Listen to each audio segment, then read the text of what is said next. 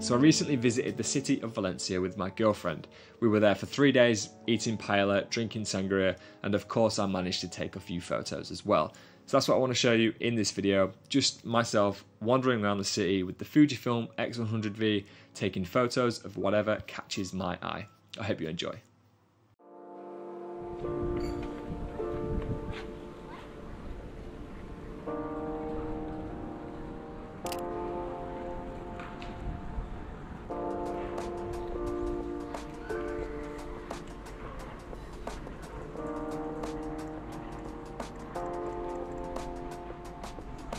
Ooh.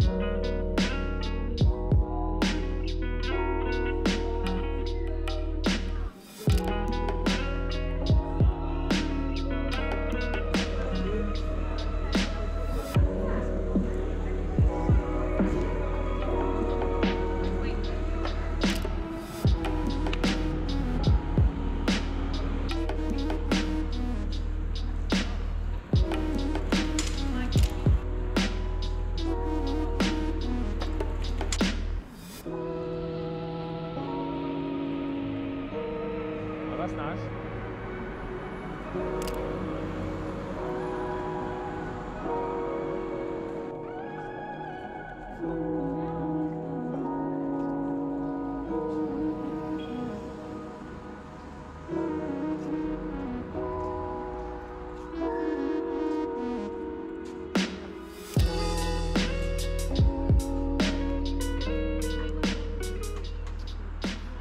you're still watching this video towards the end, I want to say thank you, but also there's a couple of extra things I want to mention as well. I'm using Vero now, so I will be on Vero as Mike Chudley.